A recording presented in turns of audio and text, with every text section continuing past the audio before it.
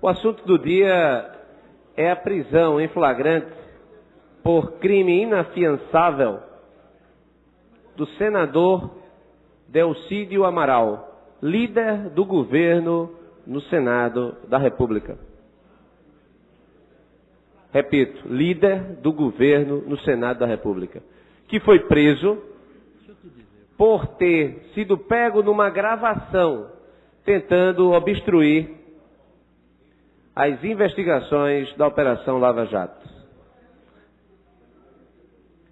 Prometendo, inclusive, um salvo-conduto a Nestor Cerveró, em diálogo com o filho deste, para que Cerveró não fizesse a delação premiada e fugisse. Fugisse que teria um plano de fuga para impedir que a justiça o pegasse. Ao prometer o plano de fuga, vereador Marco Aurélio, ainda se comprometeu a resolver o julgamento do Supremo Tribunal Federal, onde já havia, inclusive, acertado com ministros, Teori Zavascki, o Toffoli, ministro Dias Toffoli, e que iria fazer gestões para que o vice-presidente da República e o presidente do Senado, Renan Calheiros, fizesse gestão junto ao ministro Gilmar Ferreira Mendes. Foi preso na única hipótese, inclusive prevista na nossa Constituição. Deputado e senador não pode ser preso, salvo em flagrante delito de crime inafiançável. Nesse caso, obstrução à justiça e crime inafiançável o de formação de quadrilha. O líder do governo tentou obstruir as investigações.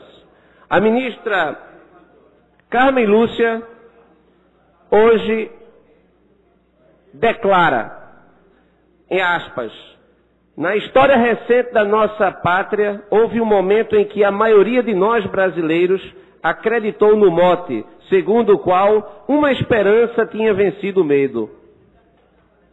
Depois, nos deparamos com a ação penal 470 do mensalão e descobrimos que o cinismo tinha vencido aquela esperança. Agora, afirma a ministra, parece-se constatar que o escárnio venceu o cinismo. Prossegue a ministra. O crime não vencerá a justiça. Aviso aos navegantes dessas águas turvas da corrupção e da iniquidades. Criminosos não passarão e a navalha das desfaçatez e da confusão entre imunidade, impunidade e corrupção. Não passarão sobre os juízes, não passarão sobre a Constituição do Brasil. Resposta adequada de uma ministra do Supremo Tribunal Federal que defende a corte. Porque o que nós estamos vendo é que a cleptocracia, o governo dos bandidos, está tomando conta ou tomou conta não apenas do Palácio do Planalto, onde a presidente da República já deveria ter saído há muito tempo via um processo de impeachment, ou vai se dizer novamente que não se sabia que o seu líder de governo fazia o que fez. Não há responsabilidade de ninguém? Este é o contexto que nós precisamos passar a limpo. E aqui o parabéns a toda a Polícia Federal, ao Ministério Público Federal, à magistratura, especialmente a magistratura no estado do Paraná, magistratura federal, que graças ao trabalho liderado pelo juiz Sérgio Moro, juiz de primeiro grau, conseguiu colocar esta quadrilha atrás das grades.